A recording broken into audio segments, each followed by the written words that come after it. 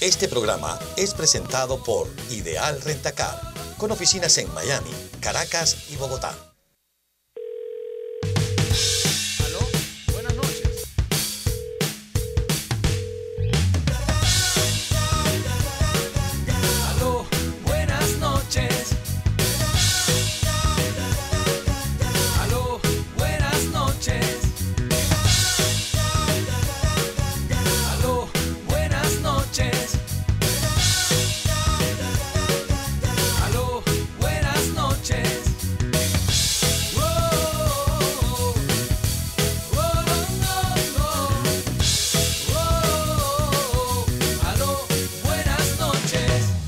Seguimos con más de Aló, buenas noches. Por cierto, María Corina Machado hoy dijo cuando inauguró la sede de 20 en Puerto La Cruz, eh, lo dijo así con estas palabras, la rebeldía cívica es la que se requiere en esta hora para afrontar la dictadura. Y además decía, en esa voz de la rebeldía que se expresa en cada ciudadano y es la que esperan de mí, Mm, solo en la calle, con protesta pacífica y cívica, es que se combaten las dictaduras hasta que retroceden.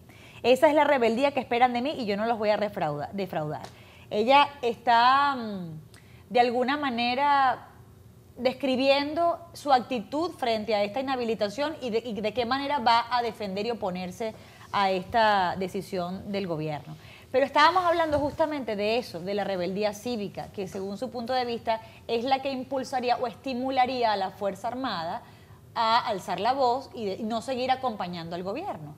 Pero le quería hacer la referencia del 58, porque usted decía que tiene que ser al unísono, sociedad civil y militares. Pero entiendo que en el 58 la gente salió fue a celebrar, ya cuando el asunto estaba resuelto. E igual. Yo era, yo era, yo era más joven que tú. Ay, qué cosa tan yo tenía, yo tenía ocho años cuando. Yo sé que usted se lo contaron, pero, igual. No, el, el, almirante vio a Estefanía. Yo vivía, yo vivía frente al Palacio de Miraflores, casualmente. Eh, hubo una, una revuelta civil parada por la iglesia con la, con la, la homilía o, o, la, o, la, expresión del, del, del, obispo más importante de Caracas en ese entonces, Arias Blanco. Monseñor Arias Blanco. 7 de diciembre, 10 de diciembre. Ah, eso cuando, después de la pastoral. Sí, después, hubo una expresión de, las, de los estudiantes de la escuela, de la escuela Miguel Antonio Carro en Katia, en los primeros días de diciembre. Hubo manifestaciones de algunos cuerpos sindicales y cosas de esas que había. Primero de enero, bombardeo el Palacio de Miraflores por aviones de la Fuerza Aérea.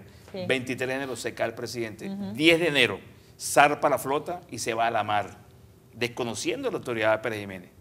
Los nueve destructores que eran la mar en ese entonces zarpan y se van a la mar.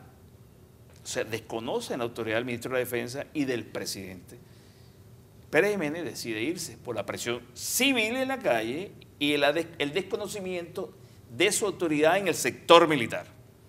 Esa, ese disloque, para llamarlo una palabra, tiene que la oposición entender lo que, que debe provocarlo. No se puede esperar con la situación política del país, hambre, miseria, inseguridad, eh, humillación, eh, falta de soberanía y toda esa cantidad de cosas que nos están atolondrando, para decir una palabra, tienen que indicarle al sector político que o se pone los pantalones o que se aparte. Oye bien lo que estoy diciendo, que se pongan los pantalones, no que sean cobardes, sino que asuman el compromiso histórico que hay en Venezuela, ahorita o nos rebelamos pacíficamente con la Constitución, yo digo, he dicho varias veces, tiene que ser violenta en la determinación y pacífica en la acción. No sé si me entiende. Con testículos y ahí. No violenta. Pudiera ser con testículos y sin armas.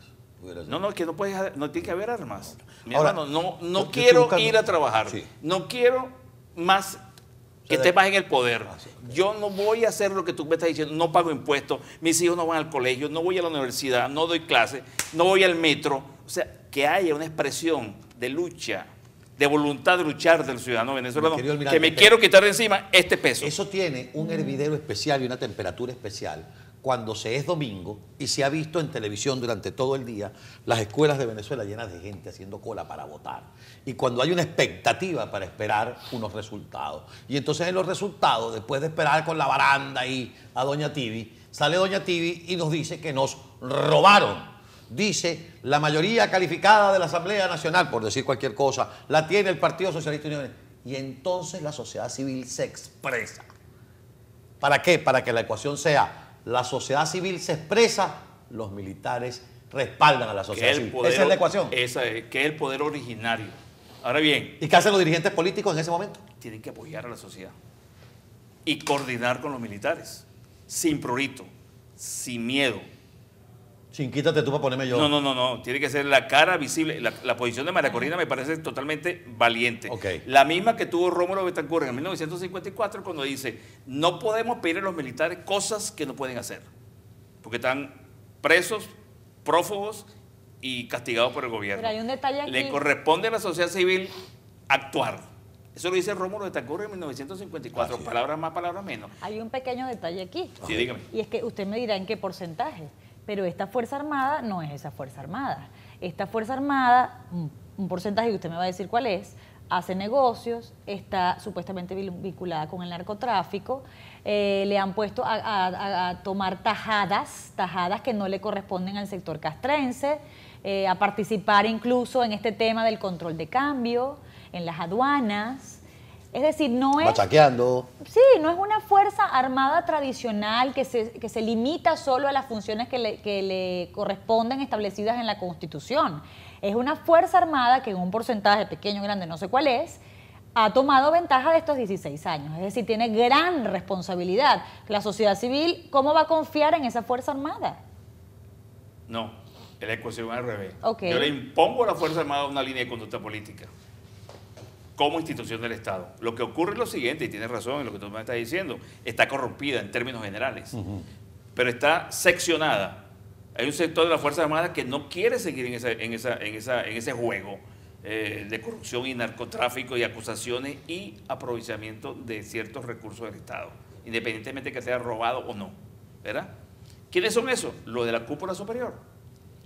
Los de la cúpula superior no quieren sino trabajar en los ministerios, no quieren funciones de comando. Porque en los ministerios y el instituto del Estado es donde hay el dinero para Así poderse es. enriquecer o aprovecharse. Con la, con, la, con la impunidad del comandante en jefe. Porque yo acuso a los militares de corruptos, es cierto. Asociado con el narcotráfico, hay que probarlo, pero puede ser cierto. ¿Y dónde queda el comandante en jefe? No tiene responsabilidad. Nadie lo nombra. Diosdado, narcotraficante. No, es Diosdado y Maduro.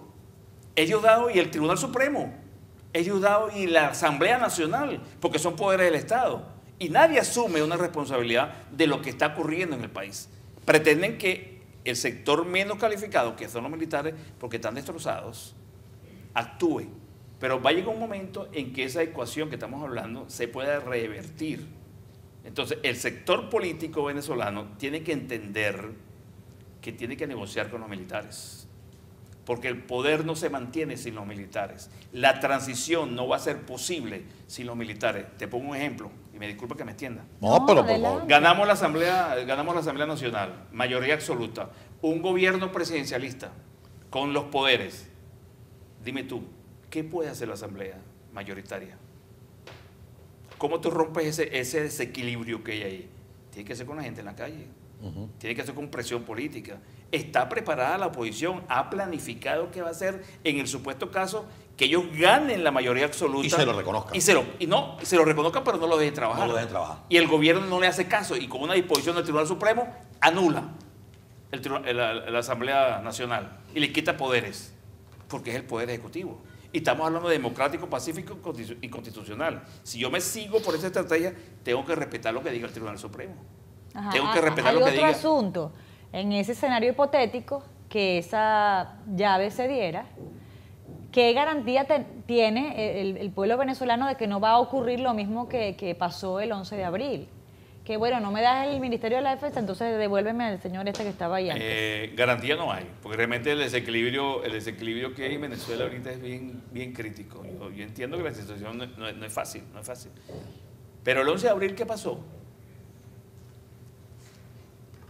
Designan a Carmona desde antes, óyeme bien, desde antes, Vamos a hacer una cosa. Vamos a la pausa y al regreso nos dice qué pasó el 11 de abril. Ya venimos.